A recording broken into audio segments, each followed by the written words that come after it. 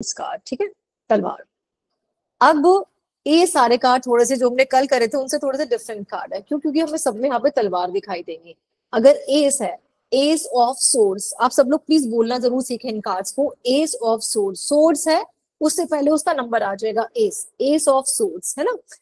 तो ये जो सूट है, ये क्या रिप्रेजेंट करता है? ये तो मैंने बता ही दिया कि हमारे थॉट्स को बताएगा, हमारे ईगो को बताएगा, हमारी रैशनल थिंकिंग को बताएगा, हमारे कम्युनिकेशन को भी बताएगा, ठीक है?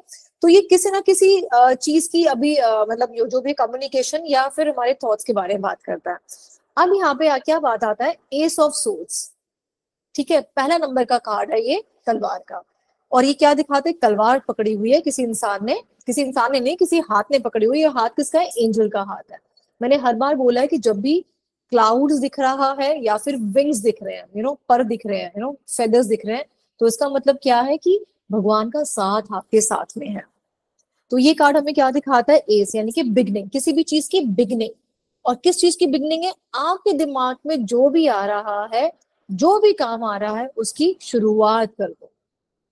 मेरे दिमाग में आ रहा है कि यार, मैं ना अपना कोचिंग सेंटर खोल लो हंड्रेड परसेंट खोलो आपको विक्ट्री मिलेगी। मेरा मन कर रहा है कि मेरे हस्बैंड से लड़ाई हो गई मैं उनसे आज शाम को ना बात कर लू हंड्रेड परसेंट कर लो। मेरा मन कर रहा है कल ना उसने मुझे ऐसे बोल दिया और मेरे बाद बार बार दिमाग में आ रहा है कि मैं ना उस आ, आगे से उससे बात ही मत करो मत करो। आपके दिमाग में जो भी सोच आ रही है आप उसको फॉलो करोगे वो आपके लिए बिल्कुल सही है आज की तारीख में। राइट अगर आपकी लाइफ में ये वाला कार्ड आ जाता है तो। क्लियर है? राइट एस मतलब बिगनिंग राइट लिख लीजिए प्लीज़ गाइस एस मतलब बिगनिंग ये आपको नोट्स में नहीं मिलेगा शायद से.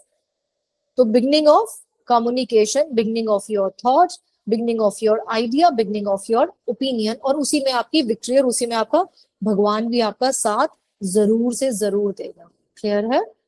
हो जाएगा काम? समझ सकते हैं चीज़ों को? This is a positive card और हर क्वेश्चन के लिए यस yes है. क्या मैं इस लड़के से शादी कर लू? हाँ कर लू. ठीक है? राइट मैं अपना बिज़नेस स्टार्ट कर लू? हाँ कर लू, बिल्कुल कर लो, कोई प्रॉब्लम नहीं है। ठीक है जी? ना टू ऑफ़ सोल्स एक इंसान है जिसने दो तलवार पकड़ी हुई है और दो तलवार पकड़ के वो क्रॉस करके बैठा हुआ है। इसका मतलब वो क्या दिखा रहा है? The person has two thoughts है ना? दो थॉट्स हैं उसके बारे में, उसके पास में। उसको समझ नहीं आ रहा कि वो अब क्या करे इस टाइम पर। और मेंटली भी डिस्टर्ब है। क्यों? क्योंकि हमें चंद्रमा भी दिख रहा है यहाँ पे।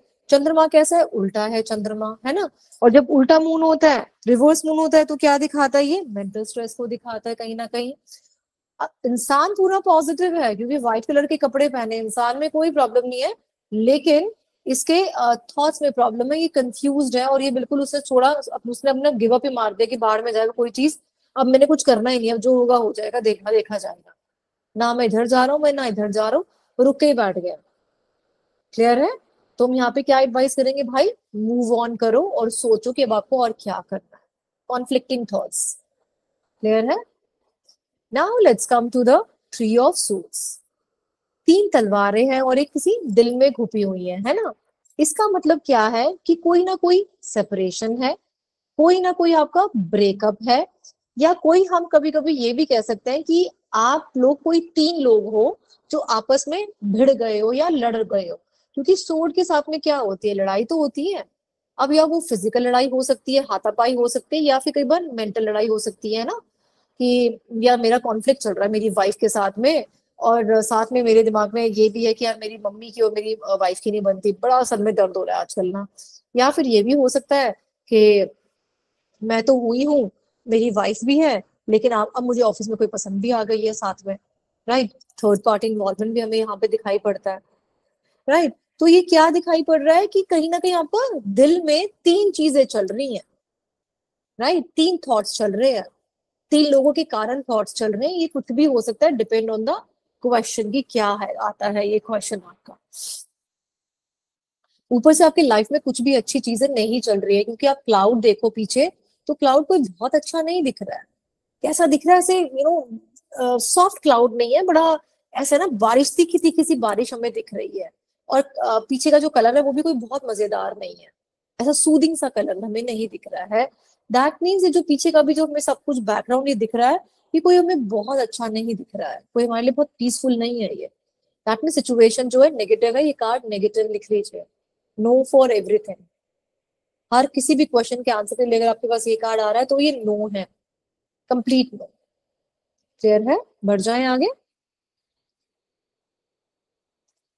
फोर ऑफ़ सोड्स चार तलवारें हैं किसी के पास में। और ये इंसान क्या कर रहा है? रेस्ट कर रहा है। अब तलवार मैंने क्या बताई है? Mind, thought, ego.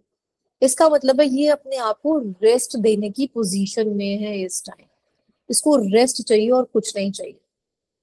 ये कहता है, बाहर में जाए सारी दुनिया। मैं इस टाइम रेस्ट करना चाह रहा हूँ। मुझे मेंटल रेस्ट चाहिए मेंटल पीस चाहिए।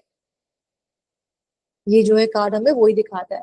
साथ में ऐसा लगता है कि या तो अपनी किसी फैमिली से बहुत दूर है ये, क्योंकि हमें पिक्चर भी दिख रही है यू नो एक विंडो में कि अपनी फैमिली से कहीं बहुत दूर है, जैसे सोल्जर्स नहीं होते, कहीं बहुत दूर बेचारे रह रहे होते हैं तो उस तरह से हमें दिखाई पड़ रहा है। ये कार्ड भी हम नेगेटिव लेकर चलेंगे। It is again a negative card जैसे मैंने कहा था ना कि नाइनटी परसेंट नेगेटिव कार्ड्स आपको मिलेंगे इसमें अभी तक एक ही पॉजिटिव गया that is ace of suit